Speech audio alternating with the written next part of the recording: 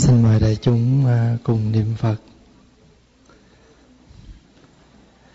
Nam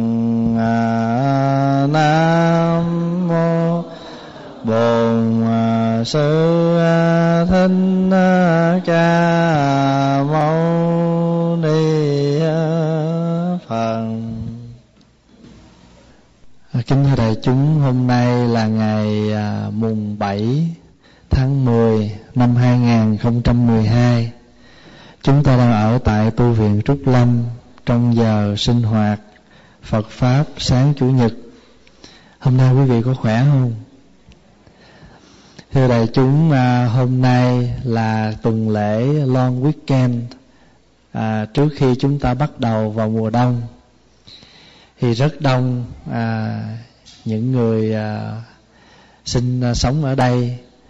À, nhân cái dịp lễ này à, lễ này là gọi là lễ tạ ơn. Thì có một số quý vị tổ chức à, đi chơi xa à, tụ họp gia đình để trước khi chuẩn bị vào mùa đông. Thì hôm nay cái lễ à, theo cái truyền thống của tây phương thì à, chúng ta có lễ tạ ơn, tiếng anh gọi là thanksgiving day.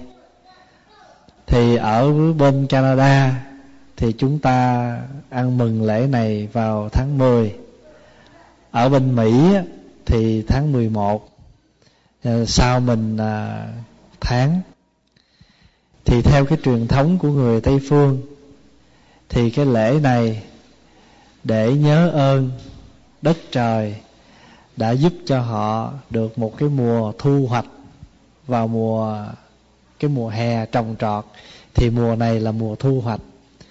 Thì quý vị thấy ở trong xã hội phương tây thì người ta cũng nhân cái lễ này mà người ta thường gọi cái lễ này là lễ gà lôi à, tức là ăn con gà con gà tây đó.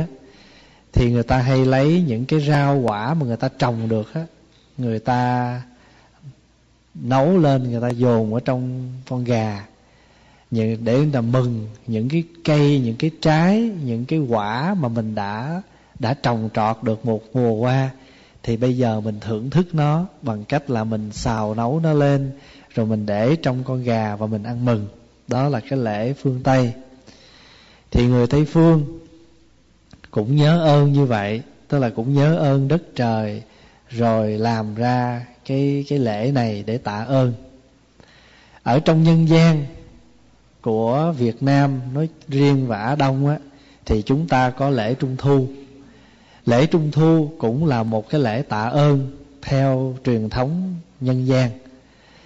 À, bởi vì sau một cái mùa thu hoạch à, trồng trọt được thì người dân nhất là làm nghề ruộng nghề nông hay tạ ơn đất trời, bởi vì mình thu hoạch được một cái mùa này mình trúng trúng mùa, mình thu hoạch được. Cho nên á, người ta cũng tổ chức làm cái lễ cúng tạ đất trời. Cho nên cái ngày rằm đó thường hay tổ chức làm một cái bàn cúng ở ngoài trời. Ở trên đó có một cái bánh in trắng, bánh in trắng tượng trưng cho mặt trăng. Đó, cúng trăng mà rồi trong đó có bưởi, có trái cây, có hoa, có nước, có đèn. Tạ ơn đất trời. Rồi bên cạnh đó có bánh trung thu. Thì cái bánh trung thu được làm bằng hai cái hình. Một là hình tròn, hai là hình vuông.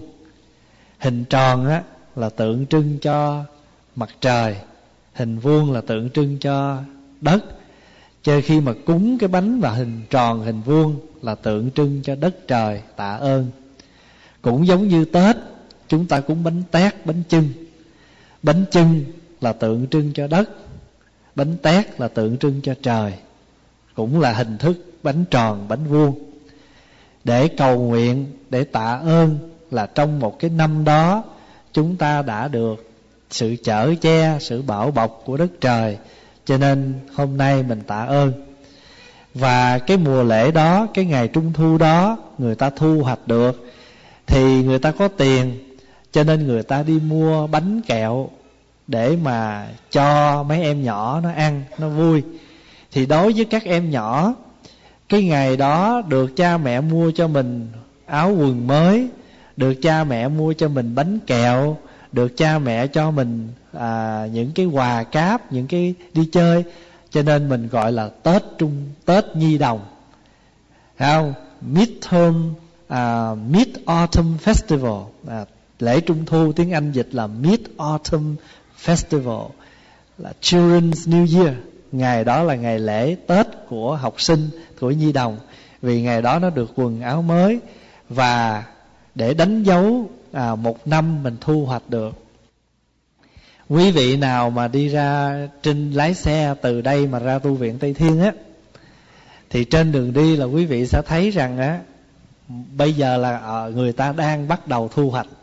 Thí dụ như những cái người mà người ta trồng mà cái cái dầu canola để làm dầu mà quý vị đi trên đường quý vị thấy nó vàng rực á là người ta cũng đã gặt xong rồi người ta gạt xong rồi bắt đầu đất, người ta xới lên để chuẩn bị một mùa đông cho tuyết nó thấm. Còn cái miếng đất bên cạnh tu viện đó là những cái mà người ta trồng cái loại lúa để cho bò nó ăn vào mùa đông. Thì bây giờ cũng đã cắt rồi, người ta mới cuốn nó thành từng cái cuộn to thật to vậy đó. Thì làm bằng máy hết á, có cái máy nó tới nó cắt cắt xong rồi tới có cái máy nó nó xoáy, nó quay làm sao mà đều thật là, đều mà thật là chặt thì để tới đâu ta để yên vậy? Mình sẽ thấy nguyên một cánh đồng bao la từng cục từng cục vậy đó. Nhìn rất là đẹp.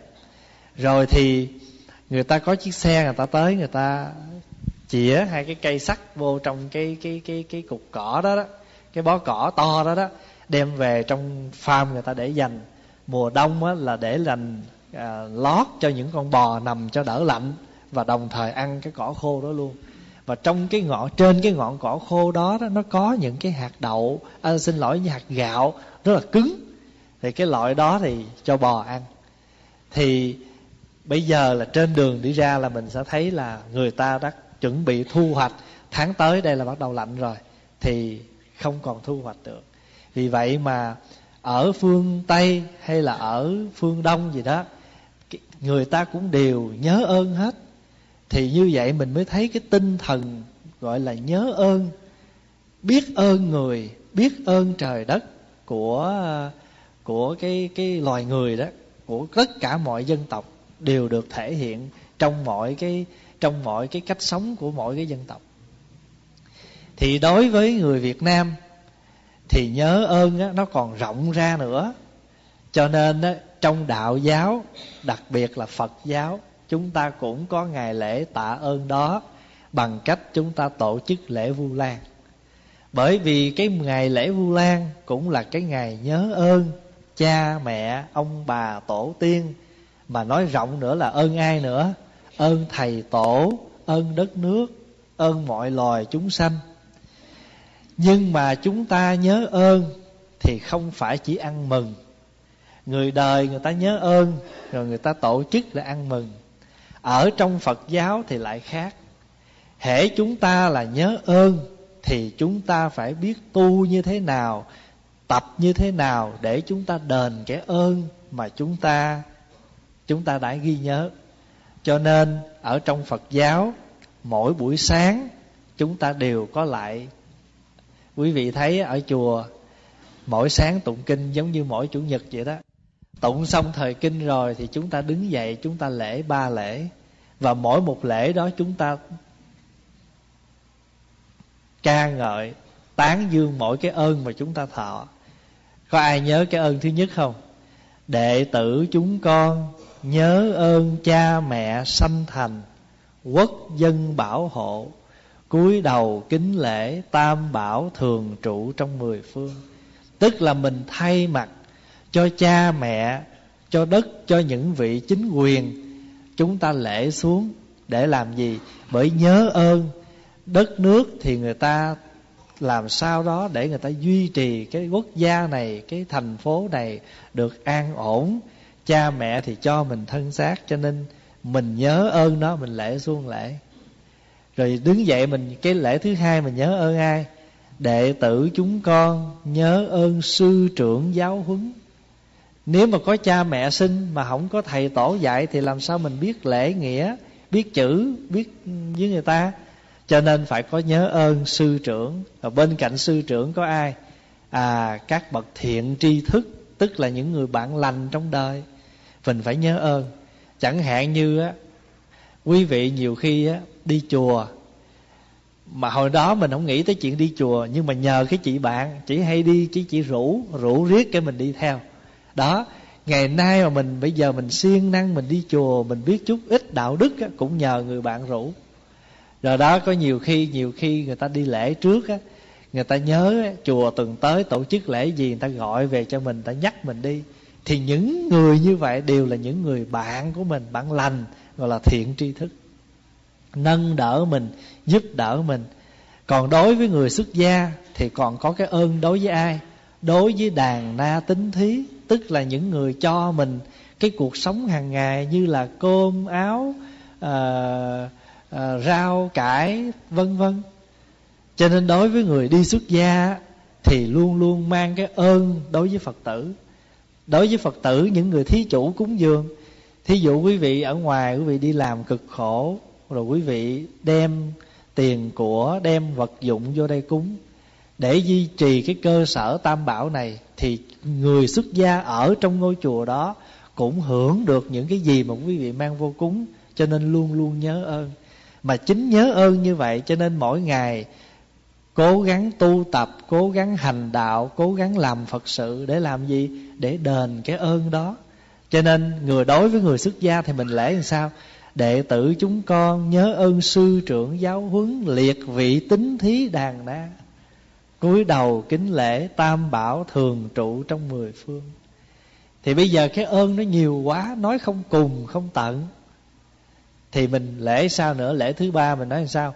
Đệ tử chúng con nhớ ơn mọi loài chúng sanh, cây, cỏ, đất, đá, cúi đầu kính lễ tam bảo thường trụ trong mười phương. Quý vị thấy không? Mình nhớ ơn cây, cỏ, đất, đá không? Có chứ, bởi vì không có núi sông không có mặt trời mặt trăng không có những cái đó thì cuộc sống của chúng ta không có thể tiếp diễn được. À, thí dụ như chúng ta mà thiếu nắng chúng ta cũng chết cũng bệnh hoạn mà chết. Cây cối mà thiếu nắng cây cối cũng không sống được. Cây cối thiếu nước cũng không được. Cho nên mình nhớ ơn hết á. Nhớ ơn tất cả hết. Vì vậy mà đối với người hồi nãy giờ pháp hòa nói đối với xã hội phương tây cũng có lễ tạ ơn. Đối với dân tộc á đông, cũng có lễ tạ ơn qua hình thức lễ trung thu. Người tây phương thì có thanksgiving, người á đông thì có lễ trung thu, còn phật giáo thì có lễ vu lan, tạ ơn, biết ơn. Nhưng mà bây giờ á, chúng ta mới nói cái cách báo ơn của nhà phật. Bởi vì thế gian á, người ta chỉ biết cái ơn, nhận cái ơn, biết vậy rồi ăn mừng hay là ca ngợi. Nhưng mà riêng đối với đạo phật thì đức phật dạy chúng ta nhớ ơn, biết ơn, mà chúng ta còn phải làm gì? Phải đền ơn nữa. Chúng ta phải làm gì để chúng ta đền cái ơn đó? Cho nên đó tại sao ở trong chùa quý thầy đắp y đó, quý vị nhìn cái y của quý thầy, quý sư cô á, là trên cái mảnh y á, nó có những cái miếng sọc ô từng ô từng ô vậy đó. Thì cái miếng cái miếng y đó đó cái tấm y đó người ta gọi là gì? Cái ruộng phước y ruộng phước. Và mình đó có cái phước đó mình mới được đắp cái y đó. Mà nhớ là cái y đó là cái y ruộng y ruộng đất. Rồi hàng ngày á mình phải tu tập để mình gieo mình để mình trồng vào cái mảnh y của mình. Cái hạt giống gì? Cái hạt giống công đức. Rồi người phật tử á, cúng dường là gieo cái hạt giống phước đức cho nên một người gieo hạt giống phước đức, người thì phải tu để cấy trồng vào đó cái hạt giống công đức. Công đức là do cái công phu tu tập của mình, còn phước đức là do cái sự bố thí của mình. Vì vậy cho nên cái y đó gọi là y phước điền. Cho nên mỗi khi mà đắp y đó, nâng cái y lên, đọc cái bài kệ, đẹp thay áo giải thoát, áo ruộng phước nhiệm màu con cúi đầu tiếp nhận. Đời này và đời sau. Tức là con cúi đầu tiếp nhận, gìn giữ để mà mình mặc cái y đó. Tiếng hán thì nó ba bài lận, tùy theo cái loại y nào mình đắp. Y năm điều có cái kệ năm điều, y bảy điều có kệ bảy điều, y chín điều có kệ chín điều. Gọi là có mỗi một cái bài kệ. Còn bây giờ mỗi năm á, mình đi xuất gia gieo duyên mình mới đọc cái bài kệ một lần. Để mình gieo duyên mà, phải không? Để cũng là đẹp thay áo giải thoát, áo ruộng phước, nhiệm màu, duyên lành nay được đắp, nguyện căn lành trồng sâu. Còn người xuất gia rồi thì con nay đầu được đội tức là mình đưa cái đầu mình lên nhận cái y này, phải không? Nguyện đời đời được mặc cái y đó, chứ không bao giờ rời. Đó. Thì đối với cái người xuất gia thì nhớ cái ơn của đàn na tính thí cho nên phải tu tập để tạo cái công đức. Còn đối với người cư sĩ phật tử người cư sĩ phật tử thì phát tâm cúng dường à, làm những điều phước thiện để gieo bòn cái phước đức. Cho nên hai cái cũng giống như á, mình đi vô trong chùa á, mình nghe một thời pháp là mình vun trồng cái hiểu biết mình vun bồi cái hiểu biết cho nên gọi là tu huệ. Rồi mình làm công quả, mình rửa chén, mình lặt rau, mình nấu cơm. Đó là vun trồng cái phước. Cho nên mỗi một lần mình vô chùa là phước huệ song tu. Hai cái nó phải đi đôi với nhau. Thí dụ bây giờ mình bước xuống lầu, mình thấy miếng rác nó nó nằm rơi xuống ở miếng đất. Đừng có nghĩ rằng cái việc này là việc của lát nữa, cái người nào quét chùa. Không phải cái việc đó cũng của mình đó mình khom xuống mình bóc cái miếng rác đó mình bỏ vô trong thùng. Hay là mình thấy ai đó ăn làm đổ mà không có dọn mình phát tâm mình dọn cũng không cần phải chờ tới. Phải là cái người vì tất cả chúng ta ai đến thì cũng đều là cái người phát tâm làm công quả. Và đó là cái cơ hội để cho chúng ta tạo cái phước. Rồi hôm nay á phong hòa nói ba phần. À, hồi nãy mình nói tạ ơn của tây phương, tạ ơn theo kiểu á đông. Bây giờ mình tạ ơn của nhà phật. Nhà phật dạy mình á, tạ ơn bằng cách nào? Đức phật có nói một quyển kinh. Quyển kinh này cũng hay lắm. Cái kinh này có cái tên là đại phương tiện phật báo ân. Thì hôm nay ông hòa trích một cái đoạn ở trong quyển kinh này để đọc cho đại chúng nghe. Phật dạy chúng ta, người biết người biết ơn và phải đền ơn như thế nào? Mình biết không chưa đủ, mà mình phải làm sao nữa? Cũng giống như á, mình biết cái đó sai. Biết sai là chuyện mà phải sửa sai nữa mới được. Cái đó, cho nên đạo phật cái dạy cho mình á, hai mặt. Nhận biết, rồi phải làm gì? Thí dụ nói, trời ơi, tôi khổ quá. À biết khổ phải không? Làm sao cho mình hết khổ? Chứ không có thụ không có ngồi ở chỗ. Gặp ai cũng bệnh xa bệnh xa là bệnh than á. Tôi khổ quá mà không có làm gì để cho mình hết khổ. Thì đây, Pháp Hòa trích một cái đoạn kinh trong phương tiện Phật báo ân, Phật dạy người đệ tử Phật đền ơn như thế nào. Nếu có kẻ thiện nam, Người thiện nữ nào biết ân Báo ân phải thực hiện bốn việc. Làm bốn việc này Thì gọi là đền ơn đây. Thứ nhất là phải gần gũi thiện tri thức. Tại sao mình gần gũi thiện tri thức? Mà thiện tri thức là gì phải gần gũi? Tri là gì? Tri là biết mình. Thức là hiểu mình. Người biết mình, Hiểu mình. Vì biết mình Hiểu mình mà hướng dẫn mình làm cái việc lành, Cho nên gọi là thiện.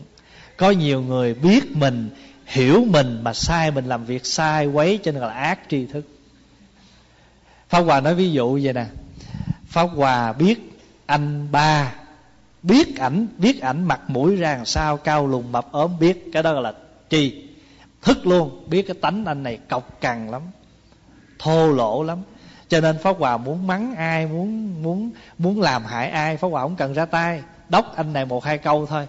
Anh này ảnh nổi máu, anh hùng ảnh lên, ảnh làm cái người kia dùng pháp hòa. Như vậy thì pháp hòa cũng là người tri thức.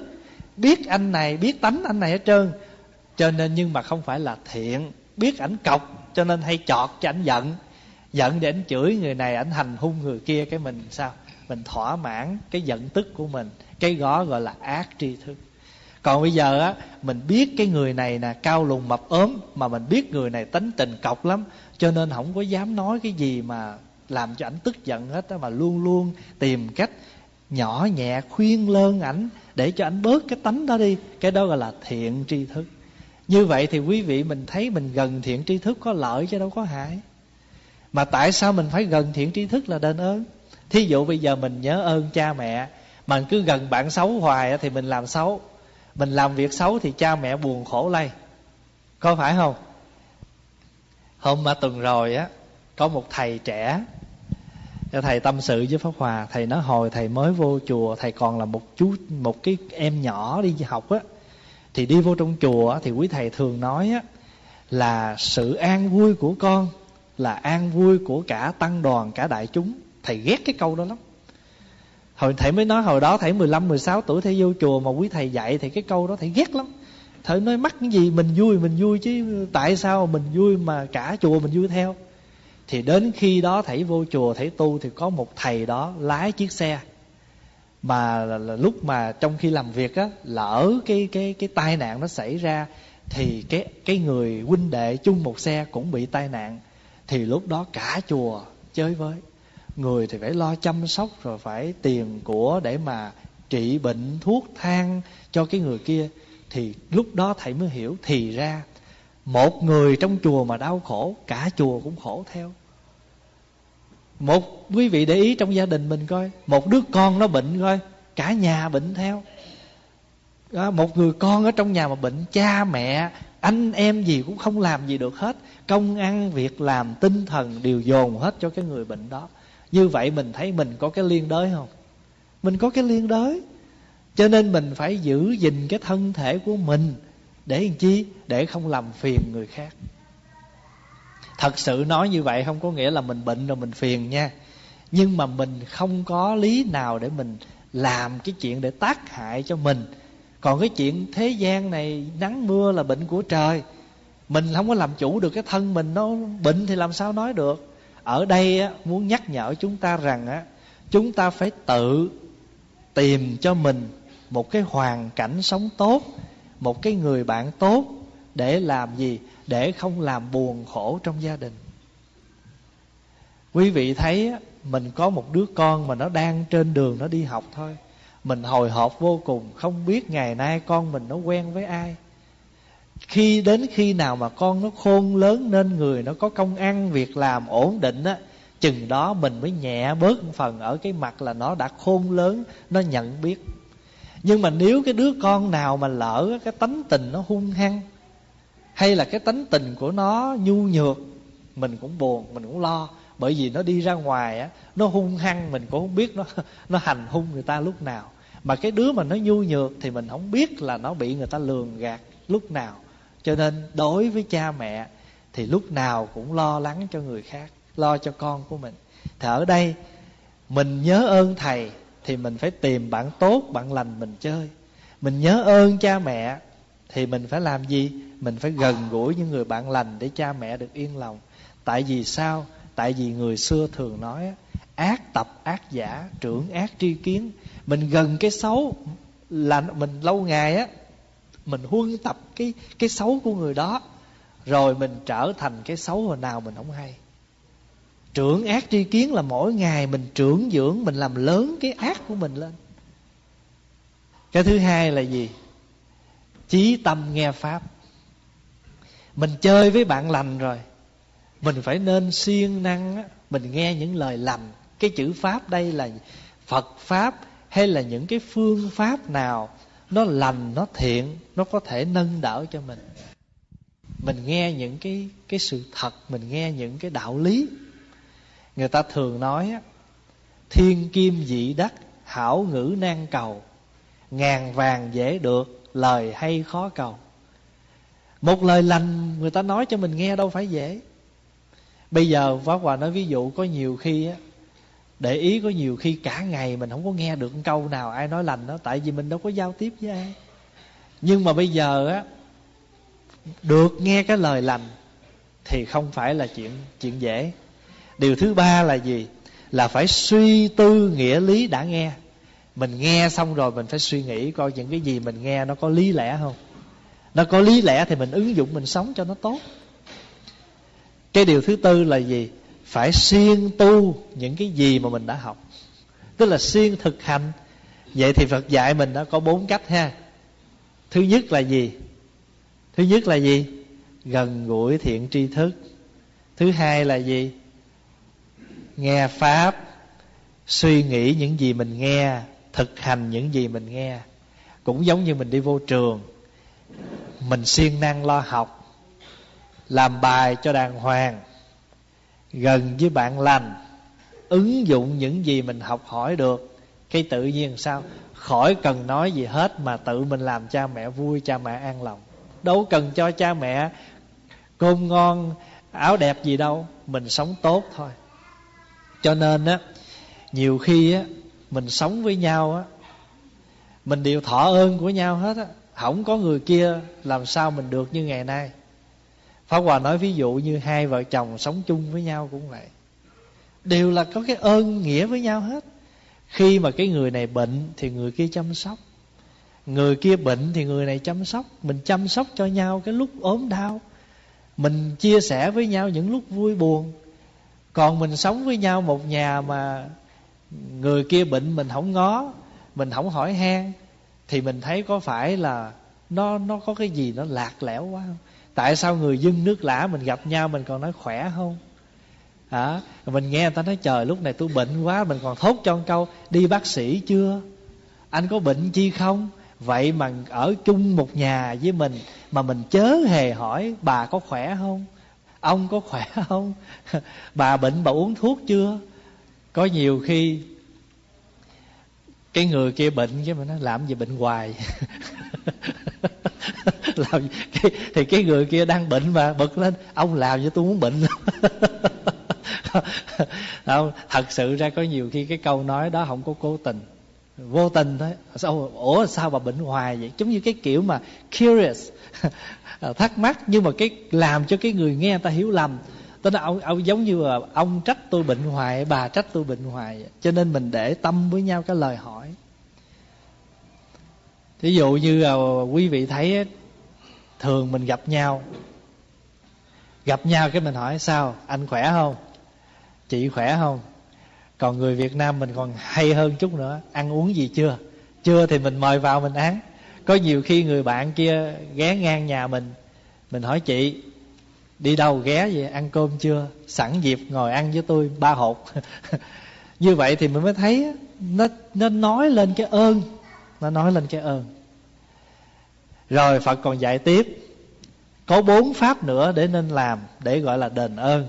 Thứ nhất là nếu mình có nghe cái pháp gì, mình học cái pháp gì nên theo cái pháp mà đừng có theo cái người. Cái này tiếng a, tiếng hán việt ta gọi là gì? Y pháp bất y nhân tức là mình nên nương vào cái pháp. Dĩ nhiên, người thực hành đó mình nhìn, mình học. Nhưng mà lỡ cái người đó không làm gì hết đừng thèm để, đừng có quan tâm cái đó để mình bực. Thôi cái gì mà người ta nói hay mình học. Còn người ta làm dở kệ người ta. Cái chuyện đó của người ta, mình y pháp bất y nhân đi. Thấy không? Và thứ hai là gì? Y nghĩa bất y ngữ tức là mình nên theo cái nghĩa hơn là theo cái lời nói. Có nhiều khi á cái ý người ta không xấu mà cái cách nói không hay. Cho nên mình nghe cái mình bực mình giận. Mà mình giận vậy thì mình lỗ. Cho nên đôi khi á, mình nên để tâm tới cái tâm tình của người đó cái ý tứ của người đó hơn là mình để ý cái lời nói. Có nhiều người không biết cách nói không biết cách diễn đạt. Hiểu ý mà không biết cách diễn đạt cho nên làm mình khó chịu thí dụ thôi nè.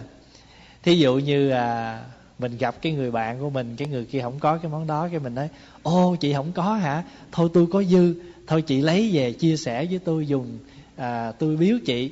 Tức là cũng một cách nói tặng cho mà cái người kia người ta cảm thấy thoải mái. Người ta thấy sao? Mình nói khéo mình nói cái này tôi cũng có dư mà tôi để cũng làm gì? Thôi chị chia với tôi xài để bỏ tội. Có nhiều khi cái cái người tự ái nó ủa chị không có hả? Trời này nó rẻ ồn mà chị không có hả? Thôi chị cần chị lấy xài đi. Thì cái người kia họ nói trời ơi tôi đâu có đến nổi dữ vậy. Cho nên nhiều khi cái ý thì không có xấu nhưng mà cái cách nói của mình á làm cho người ta cảm thấy là người ta nghèo khổ lắm. Tới cái rẻ nhất mua cũng không được rồi phải đợi tới cái mình cho cái người ta buồn. Cho nhiều, nhiều khi mình sống ở đời mình đừng có để cái đó nhiều quá nó cũng khổ mình. Cái này phật dạy đó là cái pháp làm sao để mình giảm thiểu cái khổ à, mình giảm thiểu cái khổ bằng cách là thôi y nghĩa bất y ngữ. Y cái nghĩa nương theo cái cái chữ y này là gì? Là nương. Nương tựa cái nghĩa hơn là mình nương tựa cái ý cái cái chữ y nghĩa bất y ngữ. Cái thứ ba là gì? Y trí bất y thức. Cái thức là làm sao cái trí là làm sao? Cái trí là cái trí tuệ của mình. Cái nhận biết sáng suốt của mình gọi là trí. Còn cái phân biệt phải quấy tốt xấu đó, cái đó là cái thức. Mà cái cái thứ hai nữa là cái thức này nghĩa là gì? Là cái học thức. Mà học thức thì thường thường nó sao? Nó hạn hẹp hơn là cái trí tuệ. Cái trí tuệ là cái linh động mà do chúng ta suy tư, chúng ta quán chiếu. Tiếng anh dịch là insight. Trí này là insight. Còn cái thức này là knowledge. Mà thường thường cái gì mình học có cái knowledge là nó limit đúng không? Cái lo cái gì mình học là nó limit nó có giới hạn. Còn cái insight cái wisdom á, là nó unlimited nó không có giới hạn cho nên mình cần bồi bổ cái trí đó hơn là mình theo cái thức. Bây giờ pháp hòa nói ví dụ như vậy nè. Thí dụ như bây giờ mình đi học à, mình đi học à, cắm hoa thì người ta chỉ cho mình á là cắm cái bình hoa này ba cánh ba hoa nhưng mà bây giờ á thứ nhất là không có hoa thứ hai là cái bình nó nhỏ. Thì mình sao mình phải vận dụng cái trí của mình trên hình thức á, cái công thức á, là cắm ba bông mới đẹp. Nhưng mà khi mà gặp cái hoàn cảnh là cái bình nó nhỏ quá hay cái chỗ nó nhỏ quá mình để ba cái hoa vô nó choáng hết thì mình phải vận dụng cái trí linh động quyển chuyển cắm hai thôi. Thậm chí cắm một cũng không sao. Cái đó, đó cái lúc cần mình ngộ biến tùng quyền đó gặp cái biến cố mà mình phải tùng cái cái quyền xảo cái khéo léo cái đó gọi là cái trí mà không theo cái thức nữa. Trên công thức là nó vậy đó. Ta dạy mình làm cái món bánh này à, một bịch bột là hai bịch à, hai muỗng đường. Mà mình mình bệnh tiểu đường mình ăn không được mình giảm xuống muỗng có sao đâu. Có ai bắt mình phải là hai muỗng đường? Cho nên công thức cái thức là nó như vậy.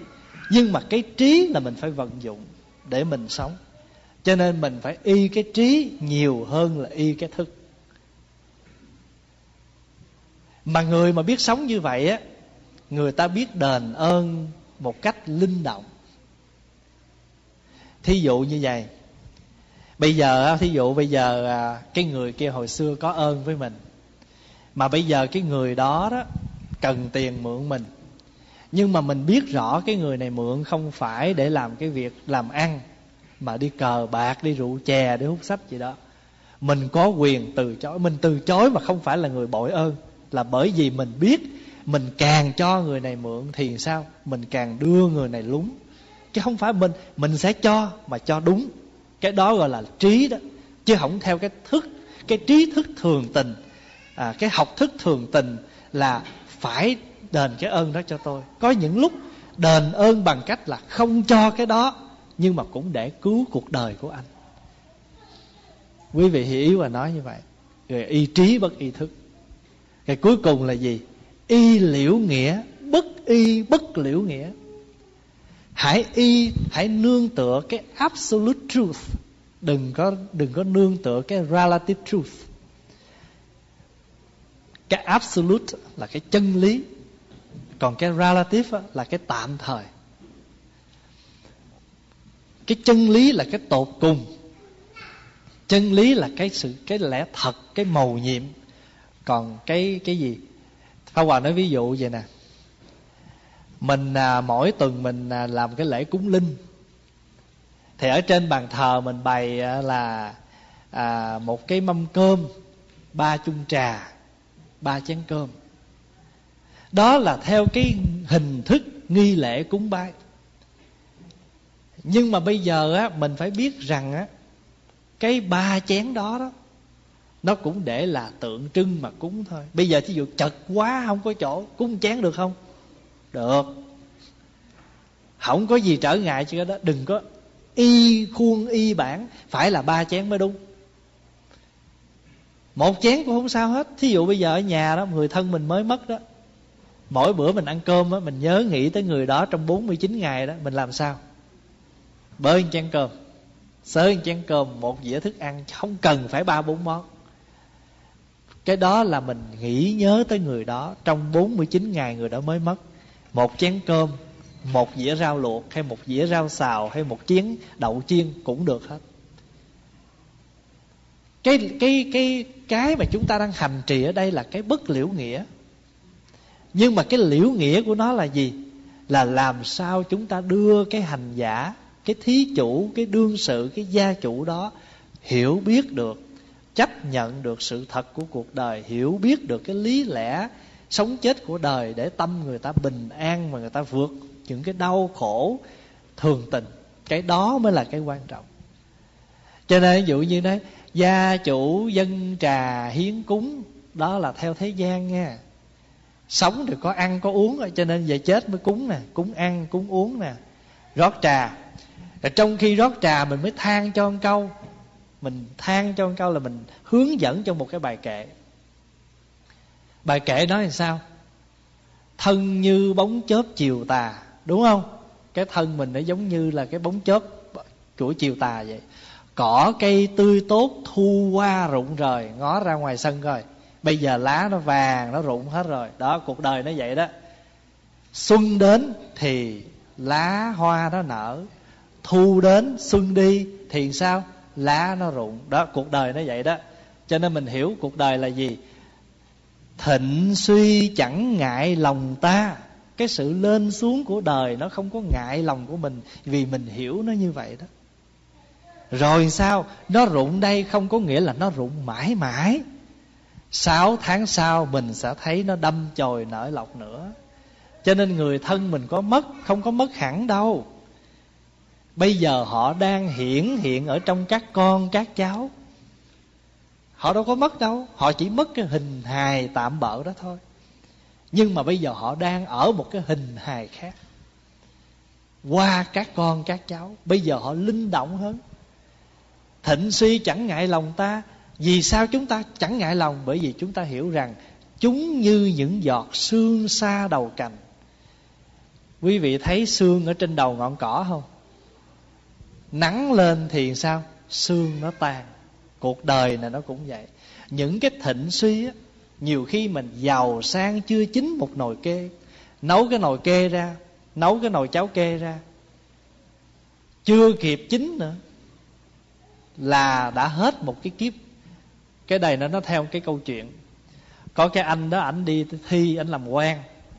Ảnh thi anh làm quan rồi à, ảnh bị à, rớt đi. Ảnh buồn tình ảnh trên đường ảnh đi về mà ảnh đói quá không có gì ăn. Ảnh mới tấp vô cái gốc cây á.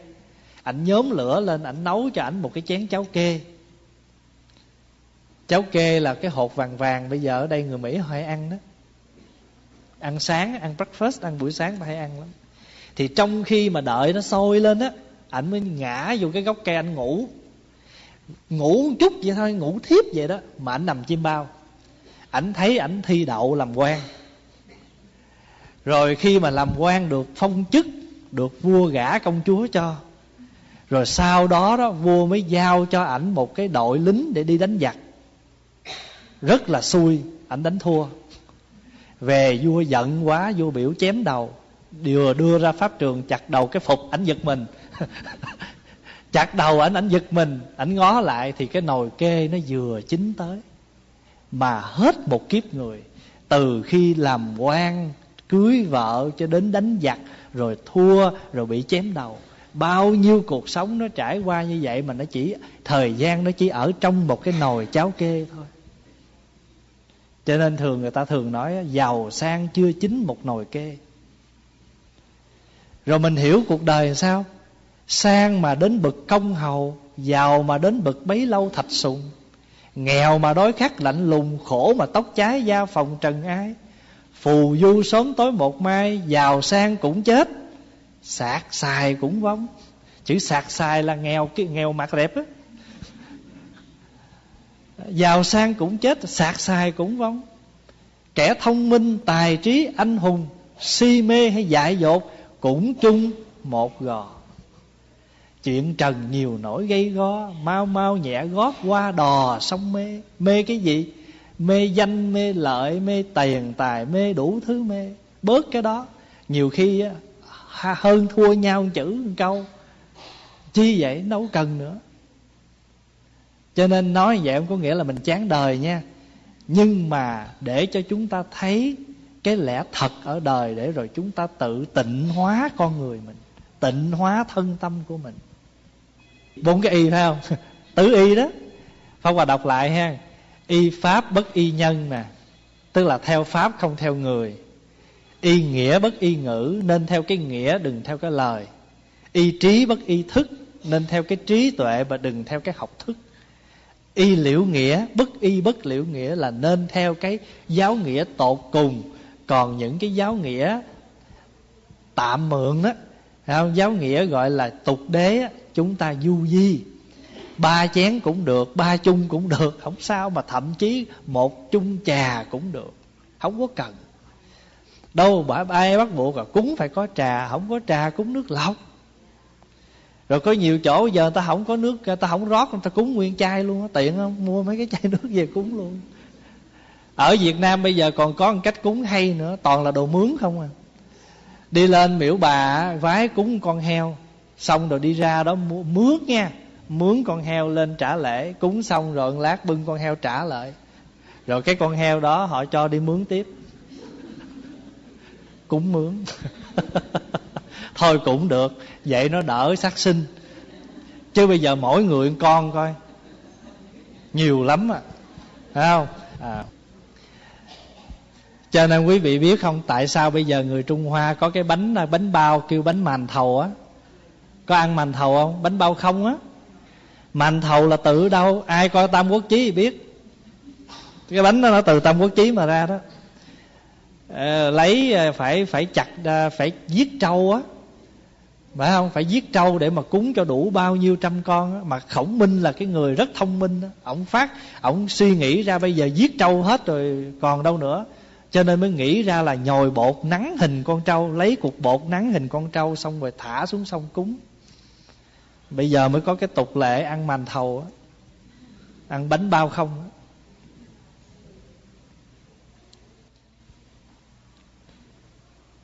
nghe nữa không? Thấy im ru cái bộ ngủ hả à kinh hay lắm nha. Kinh còn nữa mà thôi, pháp hòa nói một đoạn nữa rồi mình nghĩ bữa khác nói tiếp. Rồi phật dạy như vậy rồi ha. Phật dạy bốn cách nè. Gần thiện tri thức, nghe pháp, suy nghĩ, hành, rồi theo pháp y. Rồi bây giờ phật dạy theo tám điều nữa. Cái này người ta gọi là lại khắc phục được tám điều sau đây. Mình phải khắc phục cái này. Thứ nhất là lợi lộc. Thứ hai á là hao tổn. Thứ ba là chê mình. Thứ năm là khen khen gián tiếp. Thứ sáu là đề cao mình. Thứ năm là đề cao mình. Thứ sáu là hủy nhục mình. Thứ bảy là những cái chướng ngại. Thứ tám là những cái niềm vui. Những cái vui mà vui thế gian. Cái này người ta gọi là bát phong.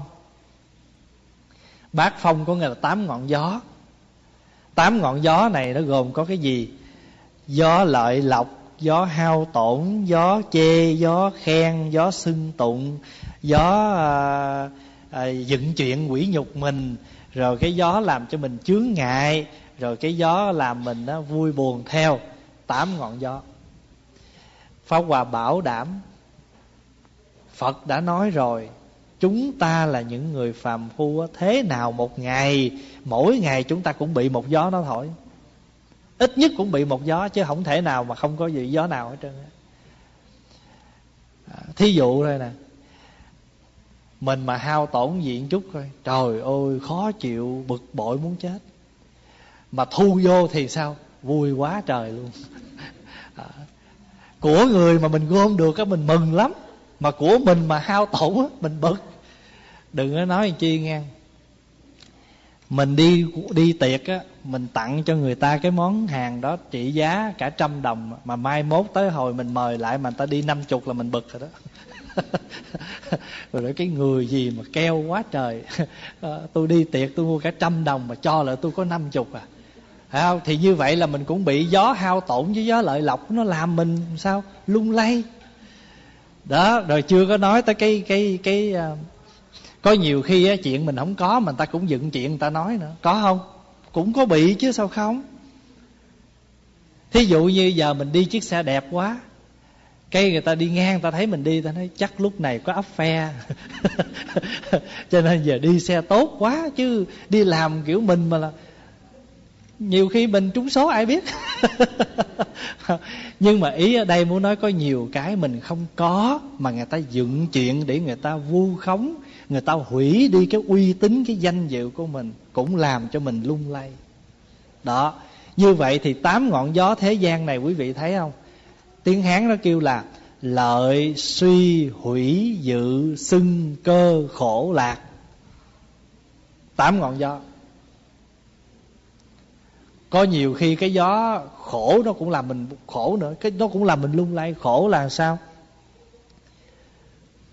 Khổ là cái mà làm cho mình không thích đó. cái gì mình không thích là khổ à. Cho nên không phải mà ai chửi bới gì mình mới khổ đâu. Cái gì mình không ưng là mình khổ à. Phá Hòa nói ví dụ như là à, cái dĩa hoa này á, quý vị nghĩ rằng á, mỗi ngày nó phải để ngay giữa. Bữa nay ai để bên hông mà ngồi dưới nãy giờ là bực bội lắm mà khổ đó. Không có cần chứ ai chọc ghẹo gì mình hết á. Chỉ cần thấy cái gì mà không xứng lòng xứng ý mình thì gọi là khổ. Chữ khổ là sao? Nó đắng mà đắng từ từ đắng từ từ vậy đó. Mà cuộc đời này mà không có cái trái khổ qua nó cũng không ngon nữa ăn thì thích ăn canh chua. À, canh cải ngọt không thích đâu nhiều khi đi vô phải kêu xào chua ngọt chua chua ngọt ngọt mình thích thì cuộc đời mà đôi khi nó có pha trộn những cái này á cũng là chuyện thường. Nhưng cái quan trọng á, là làm sao mình đừng có để cho nó chi phối mình. Cho nên phật dạy mình khắc phục. Phật dạy mình khắc phục. Rồi phật dạy tiếp thấy chúng sanh ác, sanh lòng thương xót vì nhân duyên tu lòng từ. Thấy một người nào xấu, mình xót thương cho họ. Ngay cái giây phút mình thấy họ làm xấu, đó là nhân duyên cho mình phát khởi lòng từ. Mình thấy người ta xấu, đừng có ghét, phải thương. Thương là cái người này, mai mốt họ sẽ lãnh cái quả mà họ đang gieo, cho mình xót thương cho họ mà xót thương như vậy á, là là cái nhân duyên để cho mình sanh được cái lòng từ. Lòng từ tức là cái lòng biết thương người. Pháp Hòa nói ví dụ á Mình thấy một cái người kia lang thang rách rưới. Thương không? Thương. Vì cái hình ảnh lang thang rách rưới của người đó Tự nhiên nó khởi cái lòng thương của mình. Chứ có ai nói đáng đời lắm. Nghèo vậy là đúng. Khi mình khởi cái câu nói đó là biết trong lòng mình có lòng từ. Có nhiều khi mình thấy cái người nghèo mình chưa kịp cho, chưa cho người ta tiền, nhưng mà biết khởi lòng thương, nó tội quá. Cái chị này chị giờ chị khổ chị nghèo. Khởi cái lòng từ thôi, chưa cho. Nhưng mà khởi lòng từ là quý rồi đó cho nên thấy người làm ác, đừng ghét, khởi lòng từ. Vì đó là nhân duyên cho mình, sanh được cái tâm từ. Thấy người thấy người, thấy một chúng sanh khổ, đừng có ngó lơ. Vì giây phút đó cho chúng ta lòng bi. Cái giây phút đó là chúng ta phát triển lòng bi. Từ với bi đó, từ là sao? Từ là cho người ta niềm vui bi là sao? Bi là làm cho người ta vơi khổ. Cái người kia đang khổ vì mất một người thân. Mình đi ngang, mình đâu có ngó lơ được. Mình tới, mình vỗ về, mình an ủi. Quý vị hiểu ý và nói không? Cho nên cái thấy người ta khổ là nhân duyên cho mình sanh lòng bi. Thấy người làm ác là nhân duyên cho mình sanh lòng từ từ bi thấy sư trưởng, cha mẹ, người có đức, người có đức hạnh, trong lòng vui mừng vì nhân duyên cho mình sanh lòng hỷ. Thấy người ta có đạo đức, người ta làm lành, sao mình phải bực? Thí dụ như vậy nè, mình thấy ai đi chùa đó, mình không biết người ta đi được bao lâu và người ta tu làm sao, đừng có phán người ta ăn câu trời ơi anh mà tu gì? Phật nào mà chứng cho anh? Đừng nói vậy. Mình nói vậy á, tức là mình làm cho người ta sao? Mình đẩy người ta xa. Người ta biết bước chân vô chùa dù chỉ một bữa là mình mừng. Còn hơn là họ nào giờ họ không bước mà có cái cái ba carat ở dưới kia họ cứ xuống hoài rồi sao? Cho nên họ biết bước chân vô chùa dù chỉ một buổi cũng mừng. Đừng có nói gì. Mình phải vui mừng thấy người đó biết làm cái việc lành thấy người kia bữa nay biết móc đồng cho cho người ăn xin. Mừng. Hồi nào giờ không có cho đồng nào mà bữa nay lại cho. Cho nên thấy người làm lành á, mình phải sanh tâm vui mừng, vì đó là nhân duyên cho mình tu cái lòng hỷ. Hỷ là vui đó. Còn thí dụ bây giờ mình thấy ai đến chùa bỏ tiền vô cúng dường trong thùng mà mình không có mình đứng phía sau mình thấy mình vui theo cái cúng của người ta, cái đó gọi là tùy hỷ. Cho nên quý vị thấy không? Cái để trong trong cái chỗ mà người ta cúng dường ta để chữ tùy hỷ công đức á. Anh cứ tùy hỷ cái lòng hảo tâm của anh để anh tạo công đức. Anh cúng nhiều cũng được, tùy anh. Đó là tùy hỷ anh có, anh cúng. Rồi cái người khác thấy anh cúng, người ta cũng tùy hỷ, người ta vui theo. Cho nên người cúng tùy hỷ mà người thấy cũng tùy hỷ cho hai công đức nó giống nhau cho nên tại sao ở trong chùa Việt Nam mới để chữ tùy hỷ công đức? Nó có cái ý, người cúng cũng được công đức do cái tâm tùy hỷ cúng của mình. Người thấy, người ta cúng cũng sanh tâm vui mừng, tùy hỷ được cái việc đó. Thấy người ta làm lành, thấy người ta có đạo đức, nên sanh lòng hỷ. Còn thấy chúng sanh có oan gia với nhau, thù ghét với nhau đừng có sanh tâm giận tức mà phải đó là nhân duyên cho mình để tu cái lòng xả. Thí dụ bây giờ mình thấy hai cái người kia, họ thù hận với nhau, trả thù hoài không hết. Mình thấy trời ơi, khổ quá chừng. Do cái sự oan trái mà thù hận với nhau nè. Mình thấy rõ, mình thấy nhan nhãn trước mặt mình thì mình tập sao? Mình tập tu cái hạnh xả đi. Thấy không? Oán thù khổ lắm cho nên thôi mình cũng nguyện tập tu cho mình, đừng có oán thù ai hết. Mình oán thù mình khổ cho mình. Ai khổ chưa biết đó, mà chính bản thân mình là người khổ đầu tiên. Vì mình ôm một cái khối oán thù ở trong lòng mình. Cho nên phật dạy, muốn đền ơn phải không? Muốn đền ơn tu bốn cách. Thấy người ác, sanh lòng bi. Thấy người khổ, sanh lòng từ thấy người ác sanh lòng từ, thấy người khổ sanh lòng bi, thấy người đạo đức sanh lòng hỷ, thấy người oán thù sanh lòng xả, từ bi hỷ xả. Đó là bốn cái tấm lòng cao rộng của nhà phật. Mà cái lòng đó mình mà có được rồi đó, mình đền ơn hay lắm. Pháp hòa nói ví dụ đi. Chị em với nhau, mà không xả bỏ được cái oán giận với nhau thì làm sao mình gọi là mình thương cha, thương mẹ? Bởi vì cha mẹ thấy chị em không không có hài hòa thì cha mẹ khổ. Cho nên thương cha mẹ thì chị em phải xả bỏ những cái giận hờn với nhau để cho cha mẹ được vui đó. Như vậy thì phật dạy đền ơn là phải tu cái hạnh xả. Mình chị em một nhà, giận gì thì giận, tức gì thì tức. Rồi thủy chung cũng là chị em ruột thịt. Đừng có hờn giận nhau hoài thì sao? Cha mẹ sống thì không an, mà chết rồi thì sao? Cũng còn lo lắng. Cho nên mình muốn cha mẹ được siêu thoát thì chị em sống có hài hòa. Mà sống có hài hòa thì cha mẹ thấy được yên lòng ra đi. Đó, cho nên là mình phải tu cái hạnh xã đó, rồi bây giờ huynh đệ trong chùa với nhau, cùng một thầy, cùng một sư phụ, cùng một ngôi chùa với nhau, cùng một nghe mấy chùa tâm linh có cái gì đi nữa xả cho nhau. Đừng có cố chấp đừng có giận tức đừng có oán thù rồi nói tốt nói xấu thì cái vị thầy sư phụ của mình khổ với ai? Phải không? Thành thử mình thương thầy thì mình phải hỷ xả cho nhau. À, mình thương thầy thì mình phải thương nhau mình phải nâng đỡ cho nhau. Cái đó gọi là gì? Từ bi hỷ xả ứng dụng để đền ơn. Thì hôm nay nhân cái ngày lễ tạ ơn và pháp hòa đọc trong kinh tạng. Pháp hòa thấy có những đoạn phật dạy về tạ ơn. Thì pháp hòa xin thưa với đại chúng là mình không nói cái cách báo ơn theo thế gian, mà hôm nay mình nói rằng phật dạy mình báo ơn như thế nào để đúng cái danh nghĩa là chúng ta nhận ra cái ơn, biết được cái ơn và chúng ta báo ơn bằng cách nào qua ba đoạn kinh.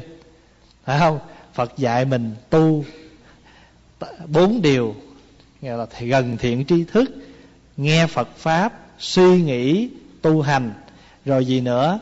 Tứ y y pháp bất y nhân y nghĩa bất y ngữ y trí bất y thức y liễu nghĩa bất y bất liễu nghĩa. Rồi kế đến là gì? Khắc phục tám ngọn gió. Đó là lợi lộc suy tổn à, hao tổn đó. À, chê mình khen mình đề cao mình quỷ nhục mình cái khổ cái vui nó là tám ngọn gió mình cần khắc phục. Kế đến là phải phát triển từ bi hỷ xã. Đó là cái cách chúng ta hành cái hạnh báo ơn theo nhà phật. Thôi thì à, pháp hòa xin à, dừng ở đây và kính chúc đại chúng à, có một cuối tuần ấm áp trong gia đình nhân cái dịp nghỉ lễ này. A di đà phật. Và xin mời đại chúng chúng ta chắp tay hồi hướng nguyện đem công đức này à, hướng về tất cả đệ tử và chúng sanh đều trọn thành Phật đạo